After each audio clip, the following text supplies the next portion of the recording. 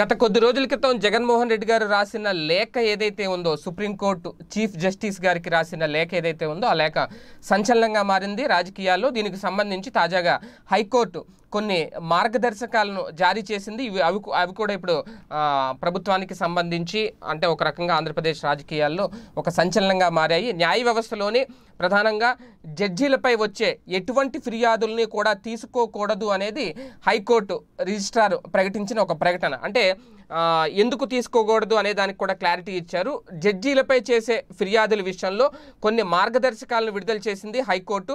Supreme court జడ్జితో పాటు హైకోర్టులోని కొందరు జడ్జీలపై తాజాగా జగన్మోహన్ రెడ్డి గారు సుప్రీంకోర్టు చీఫ్ జస్టిస్కి రాసిన లేఖ ఏదైతే ఉందో ఫిర్యాదు ఏదైతే ఉందో ఈ నేపథ్యంలోనే హైకోర్టు రిజిస్టార్ చేసిన ప్రకటన ఒక ప్రాధాన్యత సంతరించుకుందనే చెప్పాలి. ఆ ప్రకటనలో ఉన్న కీలక అంశాలు ఏంటి అంటే తగిన ఆధారాలు లేకుండా ఫిర్యాదు పేరు సంతకం లేకపోతే ఎటువంటి ఫిర్యాదునైనా ఎంటర్టైన్ చేయకూడదు అనేది రిజిస్ట్రారు చాలా స్పష్టంగా ప్రకటించారంట. ఇదే సందర్భంలో ఫిర్యాదు చేసే వాళ్ళు ఎవరైతే ఉంటారో వాళ్ళు తమ ఐడెంటిటీని చెప్పడంతో పాటు అందుకు ఆధారాలతో పాటు తాము చేస్తున్న ఫిర్యాదులు ఏవైతే ఉన్నాయో ఆ ఫిర్యాదులకు సంబంధించి అఫిడవిట్ అంటే ప్రమాణపత్రం కూడా ఖచ్చితంగా ఇవ్వాల్సిందే అనేది తేల్చి చెప్పారు హైకోర్టు రిజిస్టార్ ఒకవేళ మార్గదర్శకాలు ఎటువంటి అంటే ఈ హైకోర్టు రిలీజ్ చేసిన మార్గదర్శకాలు పాటించకుండా ఎటువంటి ఫిర్యాదులు కూడా తీసుకునేందుకు లేదు అనేది కూడా రిజిస్టార్ ఇక్కడ చెప్పేశారు. అయితే వచ్చిన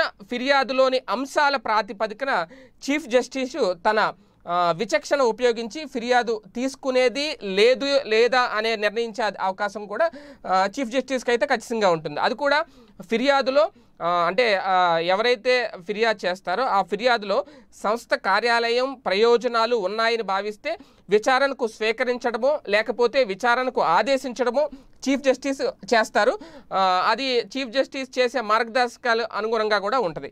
ఫిర్యాదు ఒకైనా తప్పు? అంటే వాళ్ళు చేసిన ఫిర్యాదు తప్పు అని తేలితే కనుక ఖచ్చితంగా ఫిర్యాదుదారుడు ఎవరైతే ఉంటారో వాళ్ళకి ఫైన్ విధిస్తారు. అవసరమైతే తగిన చర్యలు కూడా తీసుకుంటారండి అంటే తాజాగా ఈ లేఖ తర్వాత ఈ హైకోర్టు రిజిస్ట్రార్ చేసిన ఈ ప్రకటన ఇప్పుడు ఆంధ్రప్రదేశ్ రాజకీయాల్లో ఒక సంచలనంగా మారింది. ఎందుకంటే దాని మీద ఇంకా ఎటువంటి విచారణ ఆదేశించలేని నేపథ్యంలో న్యాయ వ్యవస్థలోని వివిధ స్థాయిల్లో పనిచేస్తున్న వ్యక్తులపై వచ్చే నిరాధార ఆరోపణలను నియంత్రించడానికి కేంద్ర ప్రభుత్వం రెండు వేల పద్నాలుగు రెండు వేల పదిహేడులోనే ఒక జీవో జారీ చేసిందట. ఆ జారీ చేసిన జీవో మార్గదర్శకాలకు అదనంగానే హైకోర్టు రిజిస్ట్రారు తాజా ఆదేశాలను జారీ చేశారు. అంటే జగన్ చేసిన ఫిర్యాదుల తర్వాత వివిధ సెక్షన్ల నుండి న్యాయ వ్యవస్థలోని వాళ్ళపై ఫిర్యాదులు భారీగానే వస్తున్నాయి. అదే అనుమానంతో సుప్రీంకోర్టు హైకోర్టుపై మార్గదర్శకాలను తాజాగా విడుదలయ్యాయి అనేది కూడా ఇక్కడ చెప్తున్నమాట మొత్తంగా చూసుకుంటే కనుక ఓవరాల్గా చూసుకుంటే కనుక ఆధారాలు లేకుండా కనుక ఫిర్యాదులు చేస్తే